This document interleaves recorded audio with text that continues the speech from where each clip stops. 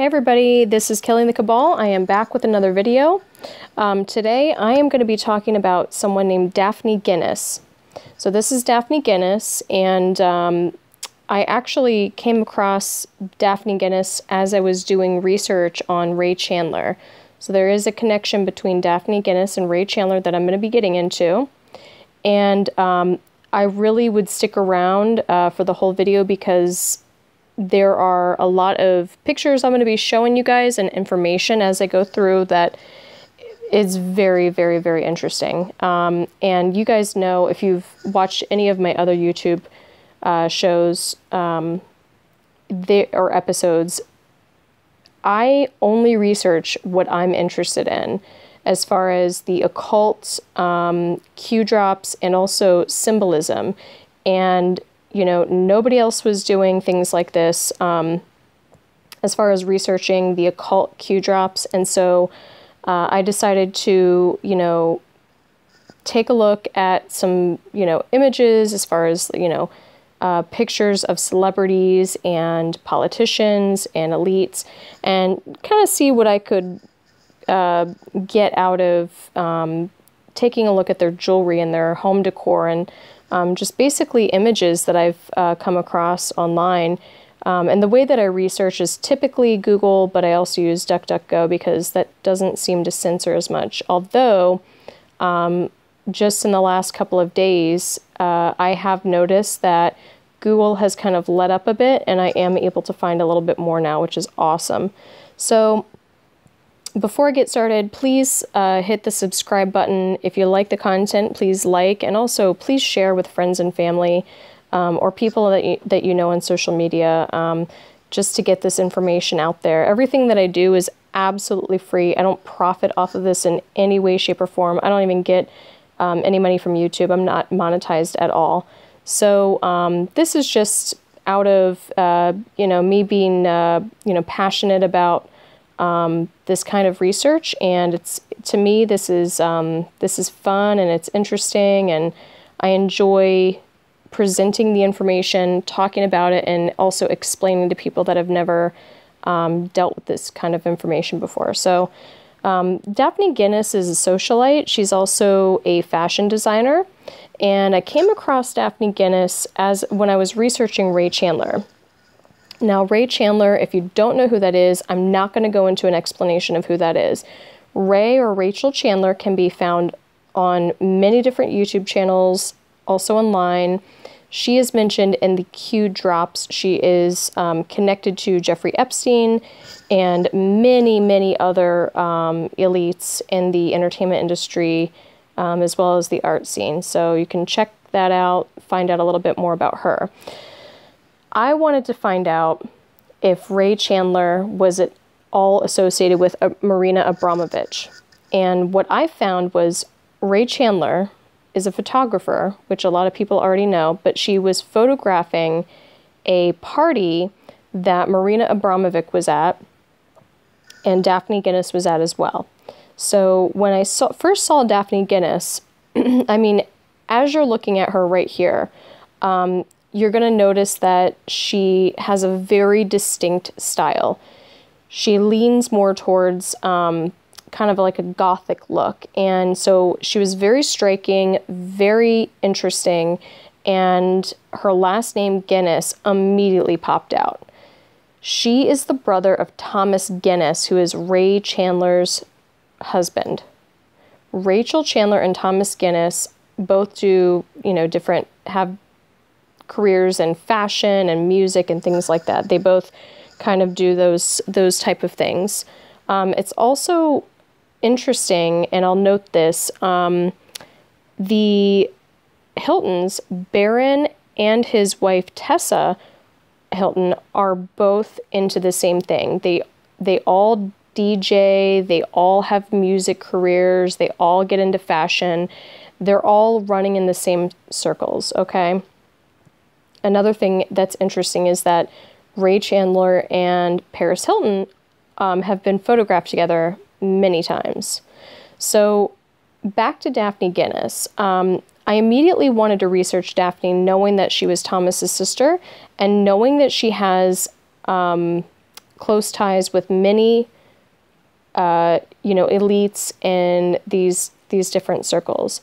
Now, something that I want to note about Daphne is that, you know, she is a, like I said, she's a fashion designer. She's um, also a musician.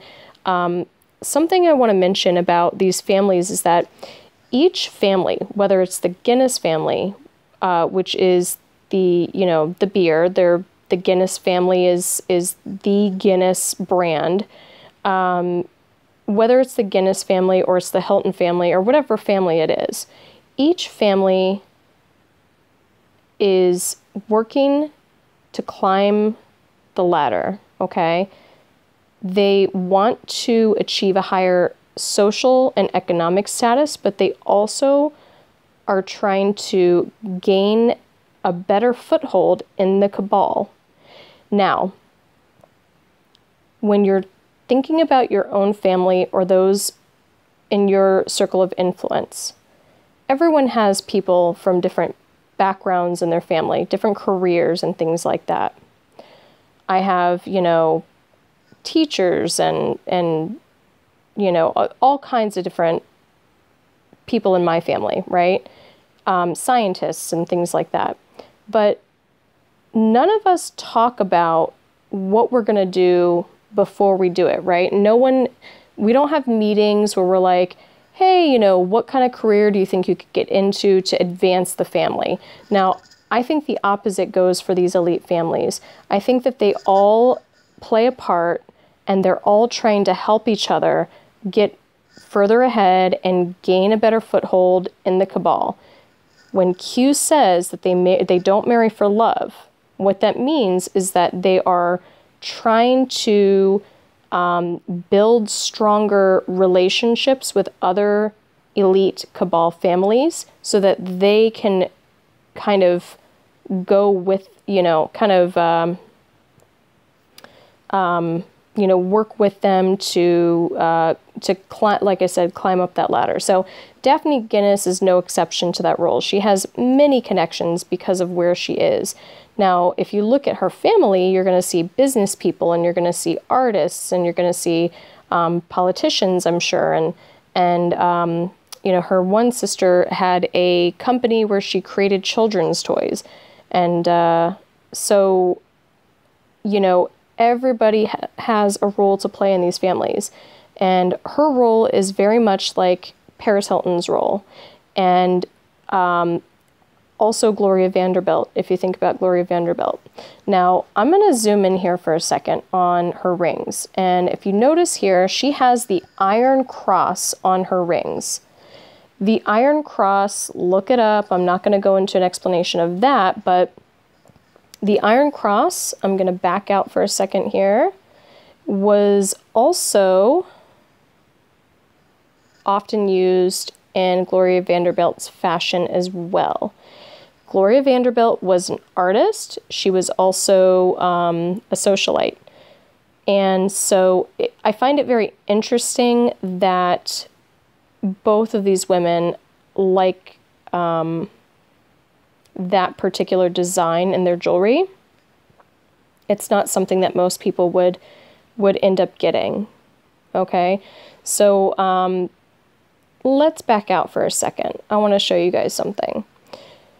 She actually is a musician, like I mentioned, and this is her new and latest album. It's called Hallucinations. This is her album cover. Immediately, what pops out is the all seeing eye.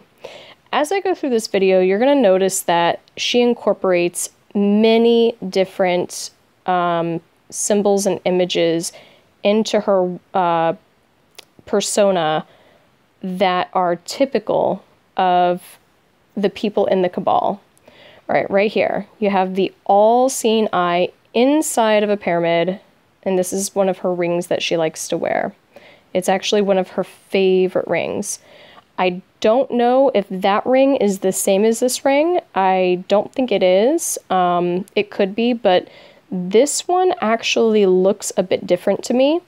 Um, the eye seems to be protruding, whereas the eye on the other ring seemed flush, and so this actually has much more detail in my opinion, than the other. So I think they're two separate rings, but I wanted to point that out. Um, interesting uh, choice in uh, jewelry there.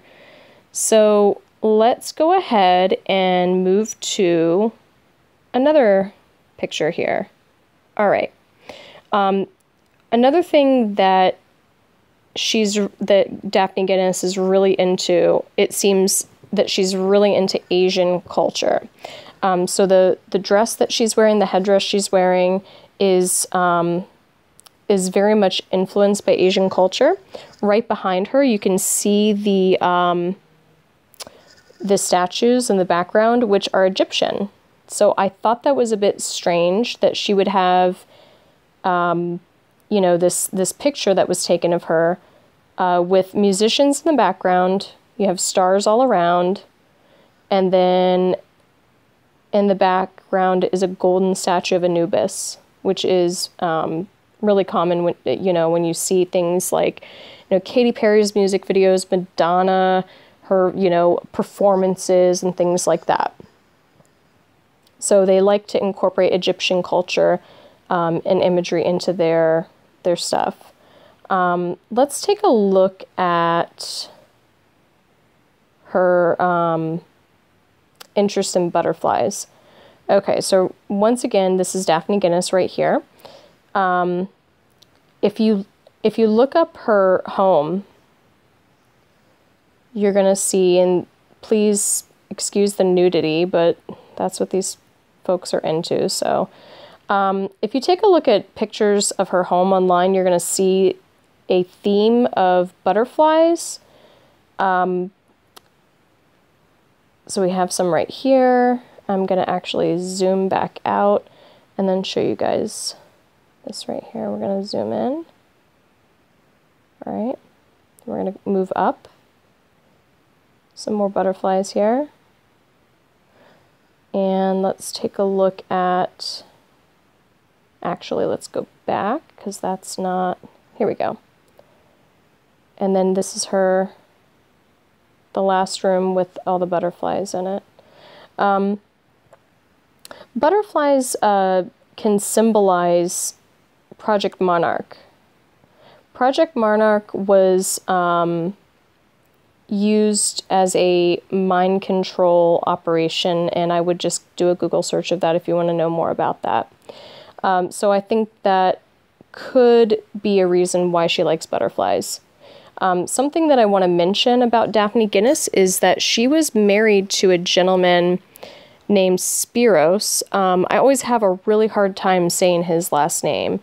Um, it's, uh, let's see here, Spiros Nirkos. I think that's how you say it.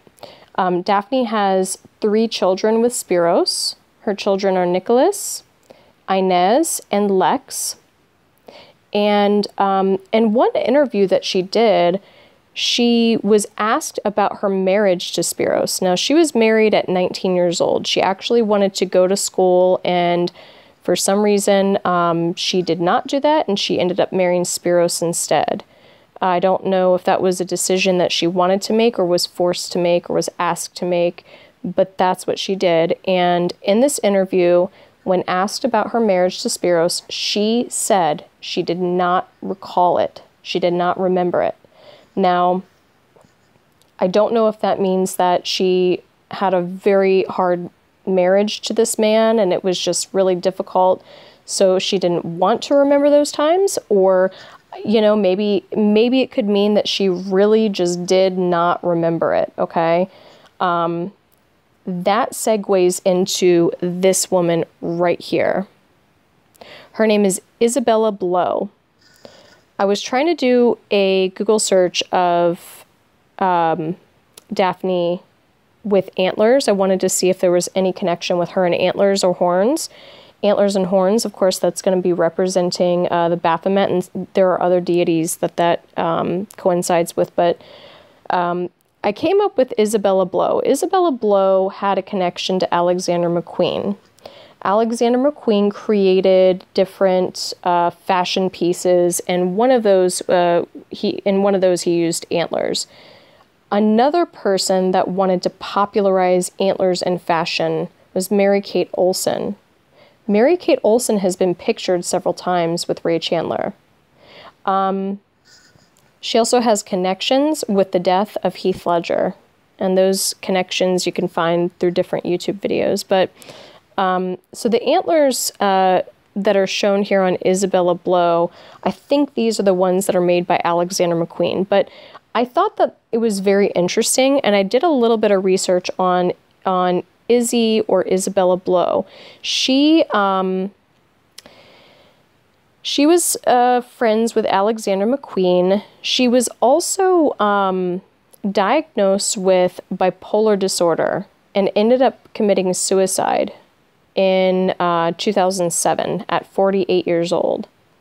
Now, she was um, a fashion designer, and she also, um, when diagnosed with bipolar disorder, she underwent shock treatment.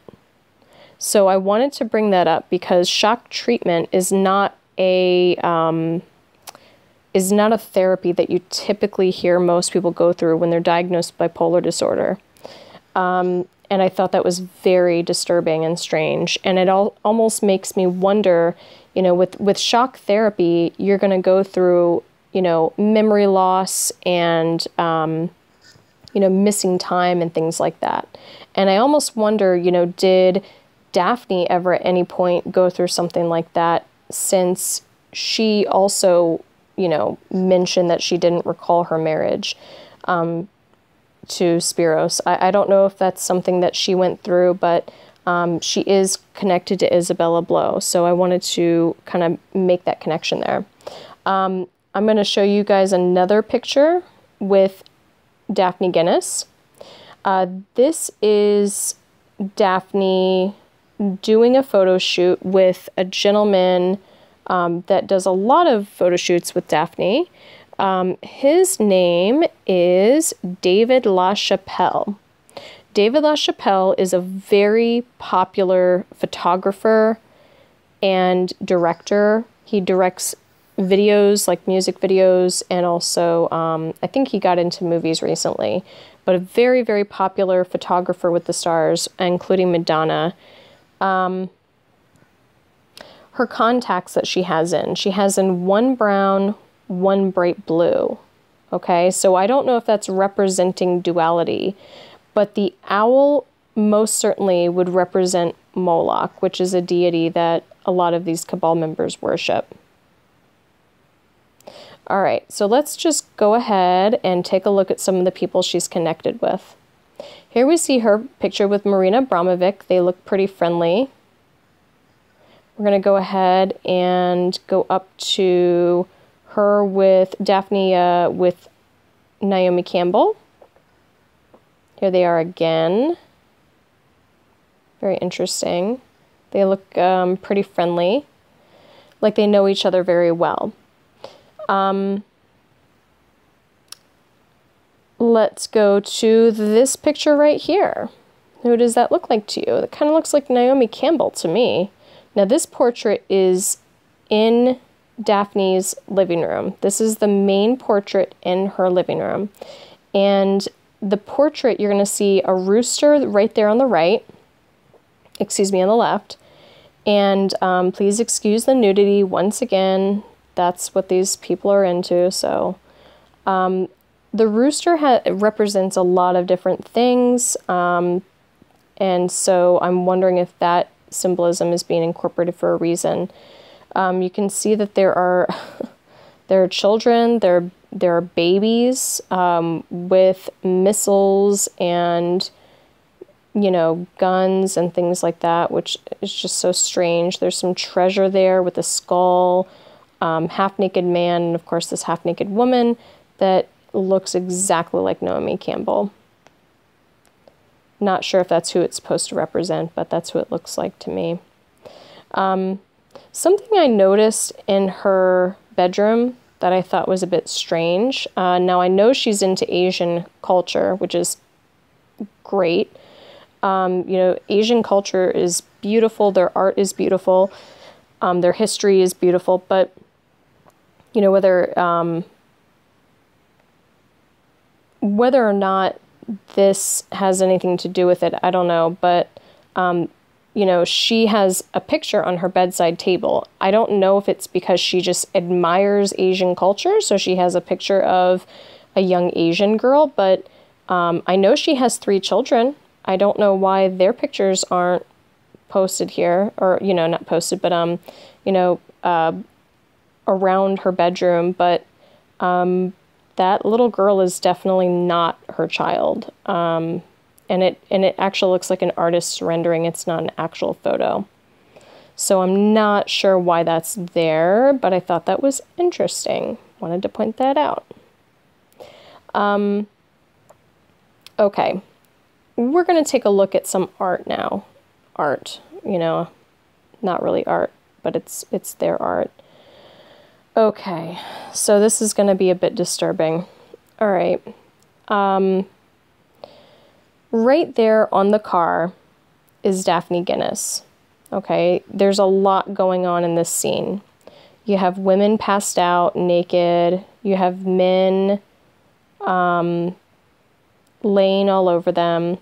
Right here, there's an older man with a naked woman laying in his lap. There's naked women dancing in the background.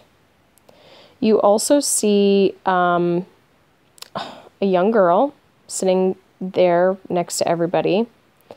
Um, and then a man with holding a snake with these shoes that are um, the shoes of Hermes. Okay, so they're incorporating Hermes once again into their their uh, you know that symbolism into their supposed art. Um, there are different ways that they did this. Um, this is probably one of the most disturbing here. Here you see the little girl sitting on this older man's lap while you have all of this going on around them. Look down below at her feet. Okay. And then we're going to zoom out and go to this picture right here. There's the sofa. There are people with masks on. People are passed out. Daphne's still in the car.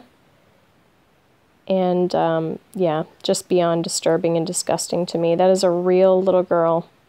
Okay? These people are sick, as Q says. Um, this isn't art. They can disguise it however they want, but it's disgusting to me and uh, disturbing. Um, okay, so I knew I, I know that I flew through those pictures pretty quickly, but um, I just wanted to one last thing, wanted to show you guys. Let's just take a look at um, some pictures of Daphne Guinness, okay? These are just some of the outfits that she likes to wear. And um, keep in mind that you guys can do any of this research at any time yourselves, um, looking up information. Now here's a Daphne picture with Lil' Kim.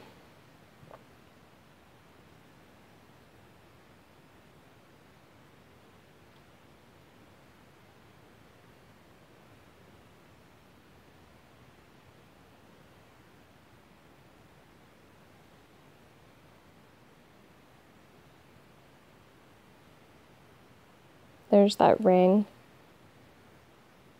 And that ring does look different than the uh, the one that I showed you guys with the bulging eye. Um,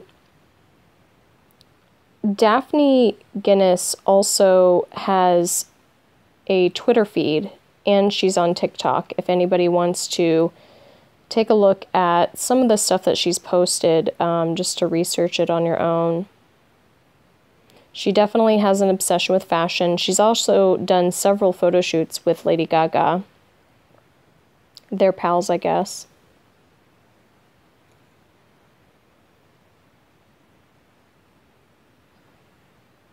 It's a very strange outfit. Um, here you're going to see, right here is uh, once again that Egyptian culture that they love to, um, you know, recycle so often and her face is wrapped up kind of like a mummy. She's even standing like that. like a like a mummy.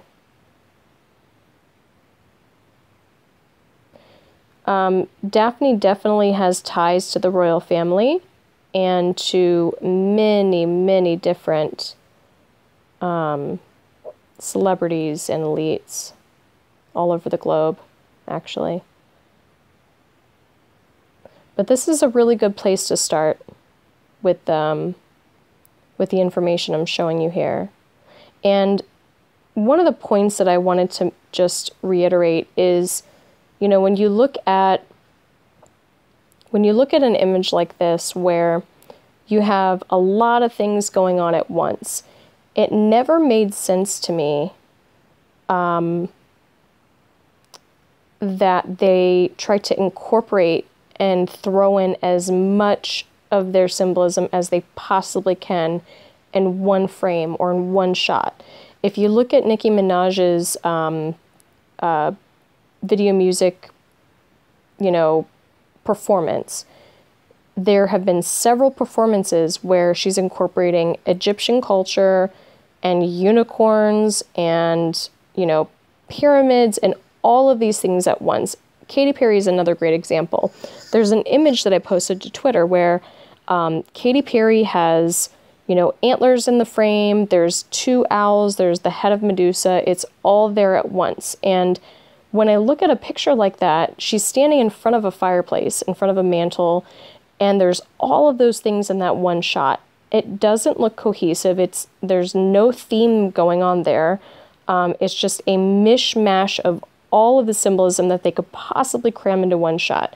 That should be a huge indication right there of it being a staged thing where it has a lot of meaning behind it as far as their um, their occult uh, worship goes.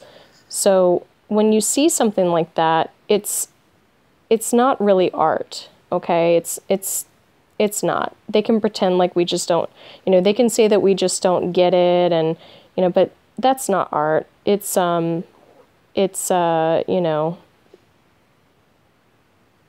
it's their way of sneaking in as much symbolism as they possibly can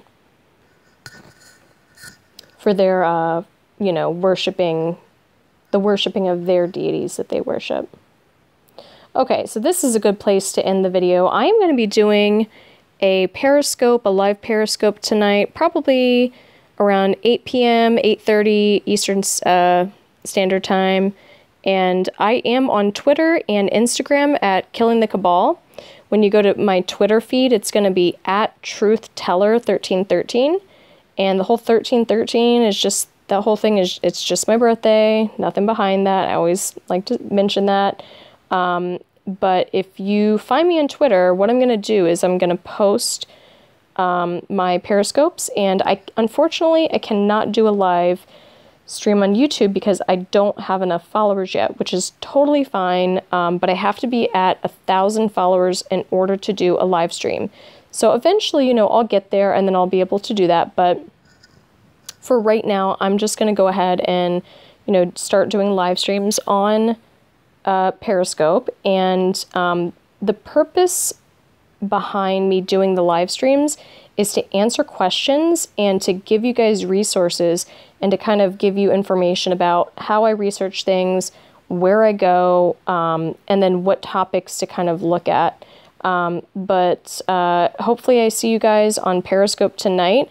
I'm going to start doing that more often. So if you want to be a part of those live chats in Periscope, find me on Twitter and just kind of follow along. And as I decide to do those, and they'll pop up on my Twitter feed. And um, you definitely want to click um, the notification uh, bell. And um, you guys have a great night and stay safe.